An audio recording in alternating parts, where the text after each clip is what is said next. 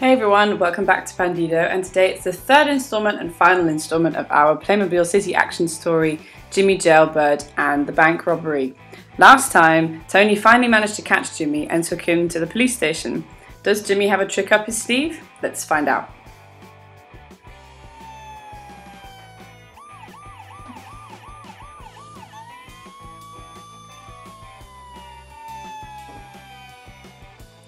Oh, you have no idea how happy I am to have finally caught Jimmy. How long have we been chasing him? Oh. Yeah, you're right, feels great. Ah, well, this isn't the way to the police station. Where are we going? I don't know. Uh, I'm just following the guys at the front. Hmm. Huh, I'll give Manny a call. I'll see what he's doing.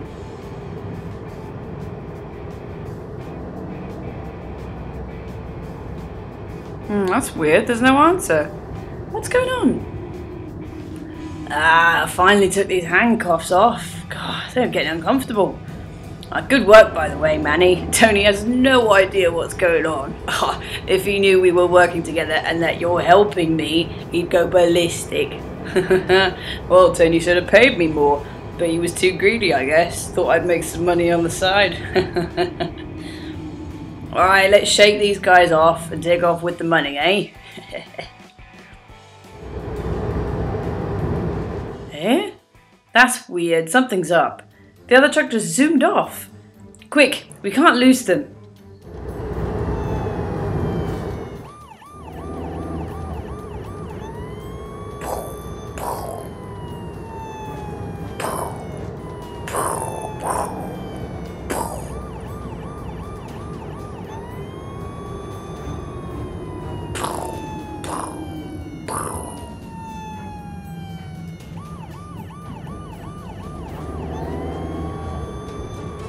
Jimmy, Manny, pull over or you'll get into serious trouble.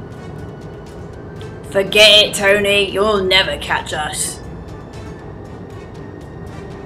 Well, looks like I'll have to take drastic measures then.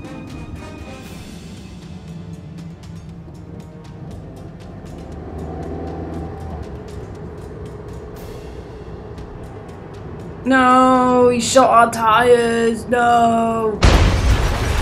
Oh god. Oh damn, it hurt. Oh. Ah, got you. Justice strikes again. Nice try, Jimmy. You really had me fooled there for a minute. And Manny, I'm really very disappointed in you. I'm gonna have to arrest you both now. Huh. How's your cell, guys? You're not going anywhere fast, so get used to it. I'm not letting you out of my sight.